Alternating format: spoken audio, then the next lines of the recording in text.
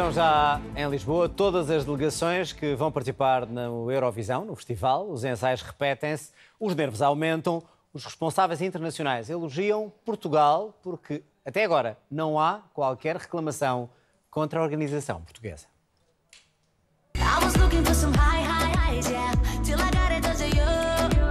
Acontece o mesmo com todos os cantores das 43 delegações. A música é eleita no país de origem e já depois em Lisboa, entre ensaios e conferências de imprensa, a pressão dos fãs e jornalistas é constante.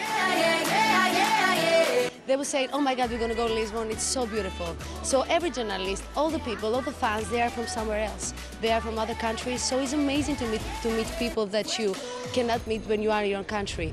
O recinto só abre às 9 da manhã, mas muito antes disso, os jornalistas e os comunicadores das redes sociais fazem fila para poder entrevistar os cantores. Muito caótico e tudo está acontecendo ao mesmo tempo, mas sim. Há muita pressão para querer entrevistar os artistas por parte dos jornalistas. Pois é, pois estão todo o tempo a querer eh, falar, eh, onde é que está, sim.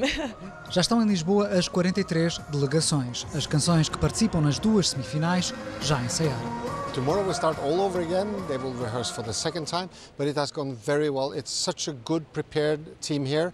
Uh, RTP has done a fantastic job uh, with, with finding the best people, the best talent, and work together uh, in a very good atmosphere. There's been a lot of laughter, but still focusing on the act, and we have no complaints so far, which is actually quite rare. A menos de uma semana para a primeira semifinal, o Ministro da Cultura é o primeiro membro do governo a visitar o recinto. É um evento que é economicamente muito produtivo, na medida em que atrai turistas, atrai, atrai pessoas a Portugal, uh, dá a, a imagem de Portugal no mundo fica reforçada.